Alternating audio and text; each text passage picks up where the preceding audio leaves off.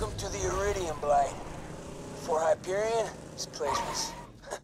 well, still a crap hole, but it wasn't this bad.